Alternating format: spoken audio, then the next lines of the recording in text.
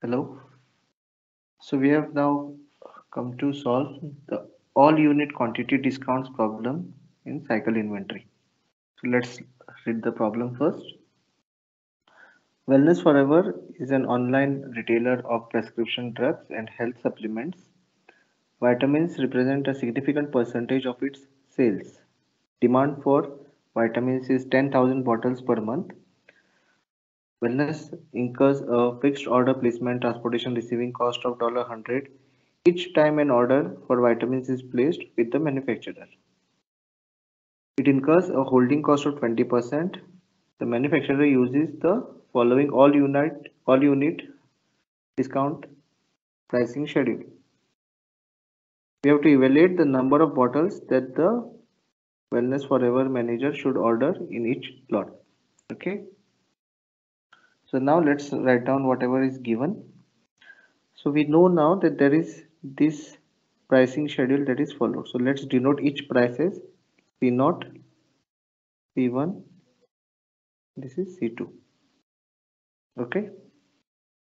Now we have the initial quantities for each right? That we have to record. So q naught is 0 q1 that is the minimum quantity to be ordered to avail that particular price.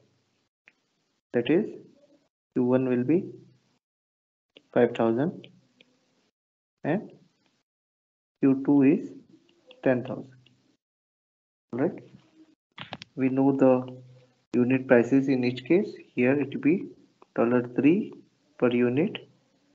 In this case C1 it will be dollar 2.96 per unit.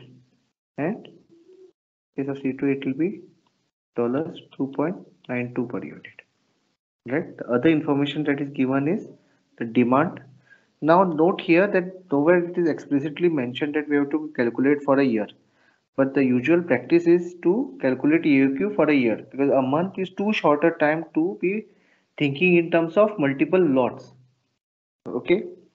So we know that d is that is the annual demand is 12 into 10000 that is 1 lakh 20000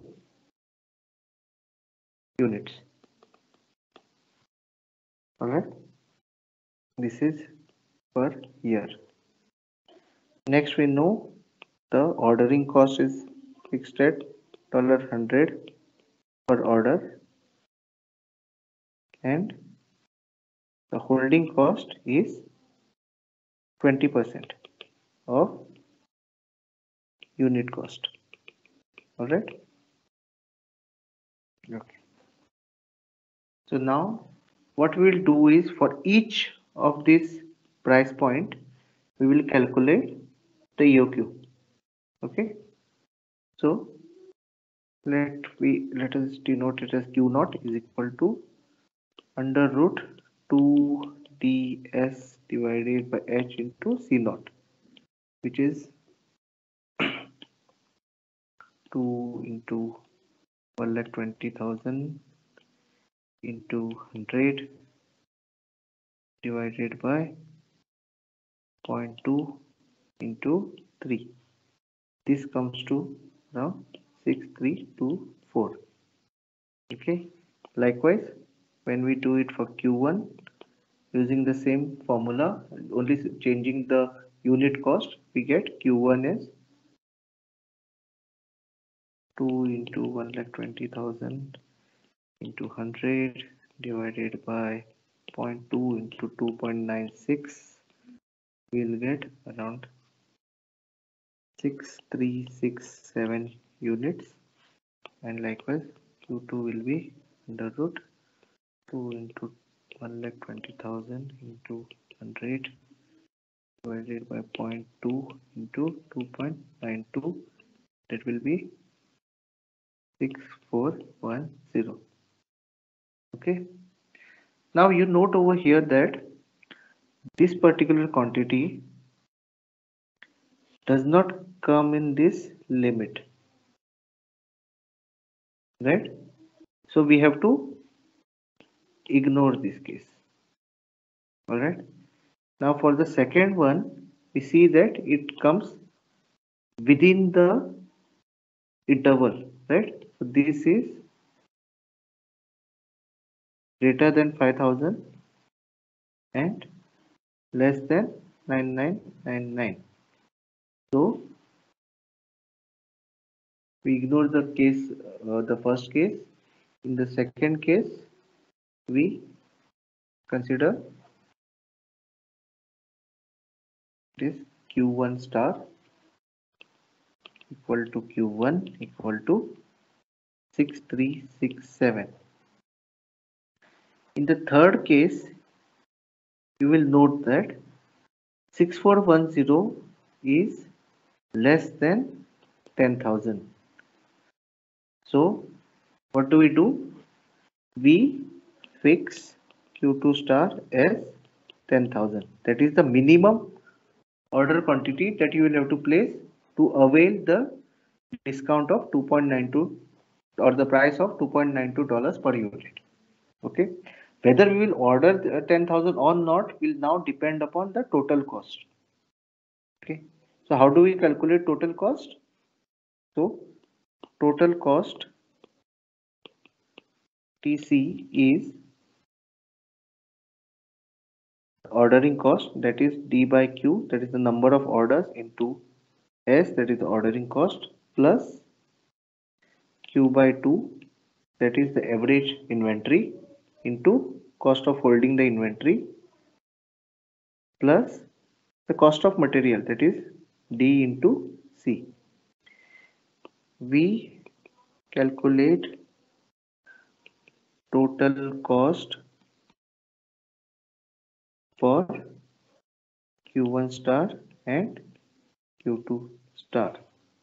So tc1 is d by q1 star into s plus q1 star by 2 into h into c 1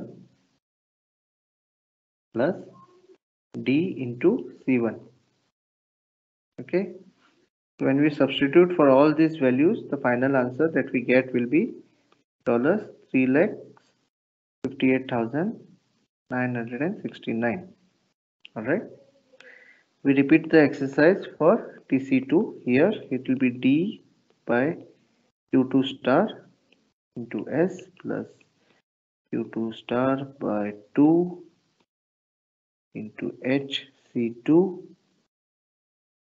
note here at uh, sorry c1 is equal to 2.96 dollars. Here c2 is 2.92 dollars per unit. Okay. Plus d into c2 this will come to dollars 3 lakh 54 520 now you will note that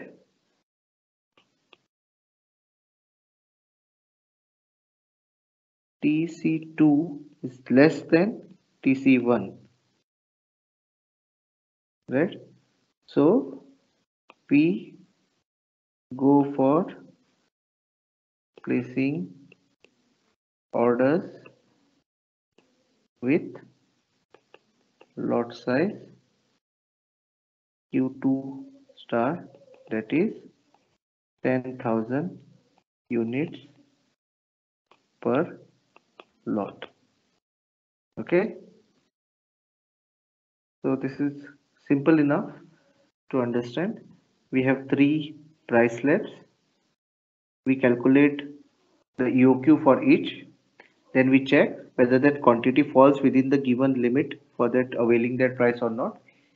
If it does not then we see in which slab it comes whether in the previous slab or the next slab okay? If it is in the next slab then you ignore that case because for the next slab anyways you are going to calculate EOQ considering the price for that slab if it is coming in the previous slab like it did for Q2 in that case you consider the minimum order quantity that needs to be placed to avail that price.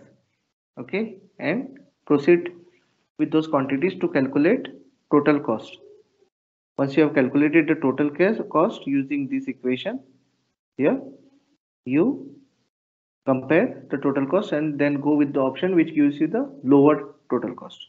All right. Okay. Thank you.